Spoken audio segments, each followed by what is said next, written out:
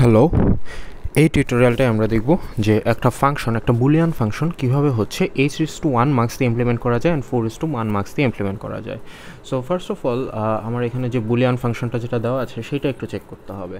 So এখানে দুইটা আলাদা আলাদা প্রশ্ন, আমরা প্রথমে এক নাম্বারটা সলভ করব দেন হচ্ছে দুই নাম্বারটা সলভ করব।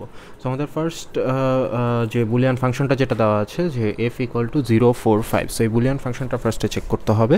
সো জিরো ফোর ফাইভ এই তিনটা মিনস মেন টার্মস হচ্ছে দেওয়া আছে বুলিয়ান ফাংশনটাতে।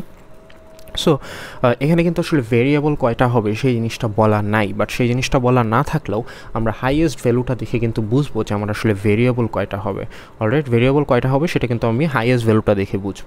সো এখানে zero four five highest value হচ্ছে ফাইভ সো ফাইভ লিখতে আমার হচ্ছে বাইনারিতে ফাইভ লিখতে তিন বিট লাগবে মিনিমাম সো আমি বুঝে নিব যে এখানে আমার আসলে থ্রি ভেরিয়েবল অলরাইট সো এইভাবে আমি বুঝে নিব যে এখানে আসলে তিনটা ভেরিয়েবল লাগবে অলরাইট সো এই জিনিসটা যদি আমি বুঝতে পারি, তাহলে কিন্তু আমি বুঝতে পারব যে হ্যাঁ আমার জিনিসগুলো আসলে কি হবে, না হবে আর কি alright that means that means আমার সিলেক্টর কয়টা হবে বা আমার ইনপুট কয়টা হবে, এরকম আর কি। সো আমার ফার্স্ট যে কোশ্চেনটা ফার্স্ট কোশ্চেনটা হচ্ছে, আমার আসলে eight is to one mux দিয়ে জিনিসটা বিল্ড করতে বলেছে। আমার তো এখানে বলেই দিয়েছে যে eight is to one mux use করতে পারব শুধু।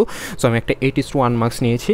এখানে আমার আটটা ইনপুট অ্যান্ড হচ্ছে তিনটা সিলেক্টর সো আমি যদি তিনটা ভেরিয়েবল দিয়ে যেহেতু এই জিনিসটা ইমপ্লিমেন্ট করতে হবে সো দ্যাটস ওয়াই আমার তিনটা selector so consider that three variables are A B and C তিনটা ভেরিয়েবল যদি এ বি সি হয়, তাহলে আসলে এই জায়গাটায় আমি এ বি সি এভাবে দিতে পারি। সো দ্যাট মিন্স আমরা জিনিসগুলো আসলে এখানে এ কে হচ্ছে এমএসবি হিসেবে ধরছি দ্যাট মিন্স আমি এই জিনিসটা এখানে এইভাবে না লিখে আমি হচ্ছে এ বি সি এইভাবে লিখতে পারি। সো ভেরিয়েবল দিয়ে আমি এই জিনিসগুলো এইভাবে লিখলাম।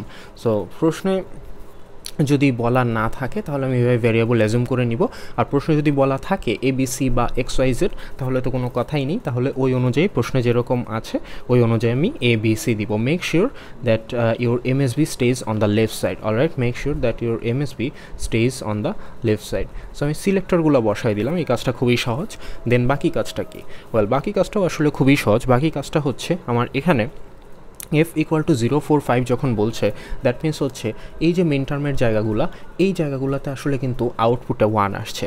আমি যদি এই ফাংশনটার জন্য একটা ট্রুথ টেবিল যদি আমি চিন্তা করি সাপোজ একটা ট্রুথ টেবিল চিন্তা করলে এই ফাংশন অনুযায়ী সেই ট্রুথ টেবিলের আউটপুট কলামে এই জিরো ফোর ফাইভ এই জায়গাগুলোতে আসলে কিন্তু ওয়ান আসছে রাইট এখানে F equal to summation sign দেওয়া দেন হচ্ছে জিরো ফোর ফাইভ এরকম দেওয়া। এটার মানেটা কি? এটার মানেটা হচ্ছে একটা ট্রুথ টেবিল যদি আমি চিন্তা করি এই ফাংশনটার জন্য, সেই ট্রুথ টেবিলের আউটপুট কলামে হচ্ছে জিরো ফোর ফাইভ এই তিনটা জায়গায় হচ্ছে ওয়ান বসানো। অলরাইট সো এখান থেকে আমরা জিরো ফোর ফাইভ এই তিনটা ইনপুট খুঁজে বের করব।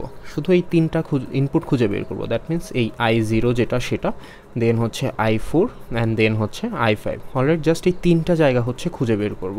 সো এই তিনটা জায়গায় হচ্ছে আমার আসলে ওয়ান বসার কথা বেসড আপন দিস সিনারিও সো যেসব জায়গায় ওয়ান বসে, আমরা জানি মার্কসের ক্ষেত্রে জিরো মানে ইন্ডিকেট করা হয় হচ্ছে গ্রাউন্ড আর ওয়ান মানে ইন্ডিকেট করা হয় হচ্ছে plus five volt alright zero মানে ইন্ডিকেট করা হয় গ্রাউন্ড অ্যান্ড ওয়ান মানে ইন্ডিকেট করা হয় প্লাস ফাইভ ভোল্ট সো আমরা যেটা করব, এই জায়গাগুলোতে আমরা এভাবে হচ্ছে ডাইরেক্ট ওয়ান বসায় রাখতে পারি, অথবা যদি আমরা চাই, তাহলে ওয়ান না বসায় হচ্ছে আমরা এই জায়গাগুলোকে অলরাইট ওয়ান না বসায় হচ্ছে, আমরা এই জায়গাগুলোকে নিয়ে প্লাস ফাইভ ভোল্টে কানেক্ট করে দিতে পারি। সো বোথ আর কারেক্ট এই জায়গাগুলোকে নিয়ে আমরা প্লাস ফাইভ ভোল্টে এভাবে কানেক্ট করে দিলেও হচ্ছে, অথবা এই জায়গাগুলোর পাশে যদি আমরা ওয়ান লিখে রাখতাম, তাহলেও হচ্ছে। সো খুবই ইজি কাজ।